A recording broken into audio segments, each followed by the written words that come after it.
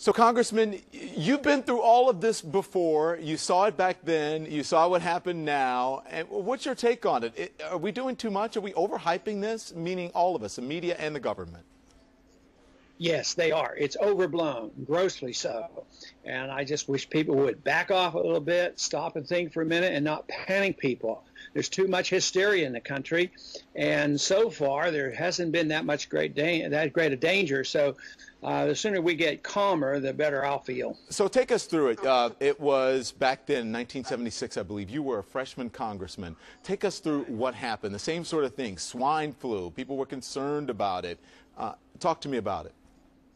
In 1976, I was sworn in in a special election, and I obviously was very new to the situation. Uh, it was at that time that um, Ford was running against uh, Reagan, and it was a tight race, and it was politicized, and the flu came in, and it was a big deal. We had a vote to uh, indicate that we should inoculate everybody in the country medically it made no sense to me, and politically it sounded like a, a, bad deal.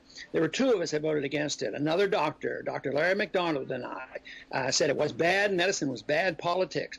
And it turned out that uh, that was pretty perceptive because uh, we only had uh, one person die from the flu, and that might have been from other reasons.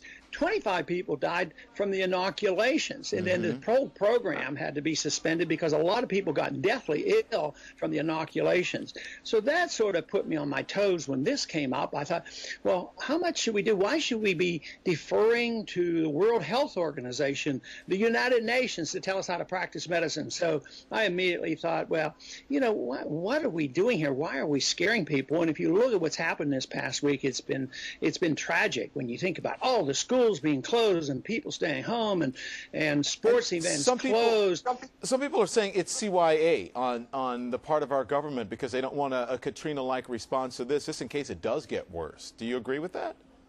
Oh yeah, it's it's politics at its worst, and uh, I think about it in medicine. Think of all the things we as physicians do in medicine because we're always terrified. Medicine you practice by uh, terror because you're always worrying about Monday morning the attorney might get you. And what didn't you do? Yeah. The politician acts the same way. The politician acts. Oh, if we didn't do it, and there is actually 25 people who died from the flu.